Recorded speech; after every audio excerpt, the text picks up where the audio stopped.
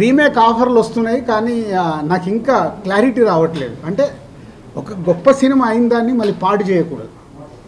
ప్రాపర్గా ఎవరైనా రాసి తీస్తాము ఇలా అలా కల్చర్ మీద తీసుకెళ్తామంటే రీమేకే చేయాలి. బట్ ఇంకా అది ఏ కాల్ తీసుకోవాలి అన్ని ఒక త్రీ ఫోర్ లాంగ్వేజెస్ నుంచి అడుగుతున్నారు. బట్ అవన్నీ వచ్చాకే చూద్దామని వెయిటింగ్లో ఉన్నాం. డబ్బింగ్ ఓటీటీలో ఉంటుంది డబ్బింగ్ చేయట్లా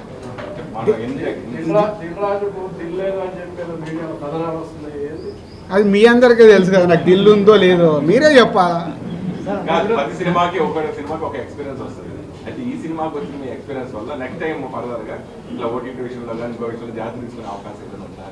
అంటే ప్రతి సినిమా ఎక్స్పీరియన్సే సురేష్. మన చేతిలో ఉండదు. మేము ప్రవాహం. మేము వెళ్తూ ఉంటాము. వెళ్తున్నప్పుడు మాకు ఇటు వస్తుంది అటు వస్తుంది. అన్నీ నేర్చుకుంటూ వెళ్ళడమే. అట్లా కుదరదు.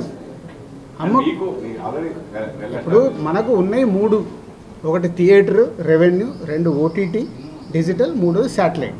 శాటిలైట్ అనేది మెల్లిగా రెవెన్యూ చాలా డ్యామేజ్ అయిపోయింది. ఇప్పుడు ఉన్నది రెండే. ఓటీటీ అండ్ థియేటర్కల్ మేము సినిమా తీసేటప్పుడు మేము రెవెన్యూ తెచ్చుకోవాల్సింది రెండే ప్లేస్లు మేజర్గా. ఎయిటీ నైంటీ పర్సెంట్ ఈ రెండు దగ్గర రావాలి. కాబట్టి ఓటీటీలు ఇవ్వకుండా ఆపుకుందామని ప్రొడ్యూసర్ ఎవరు ఆలోచించారు. బడ్జెట్ బట్టి మనం పెట్టిన బడ్జెట్ సో అంతే.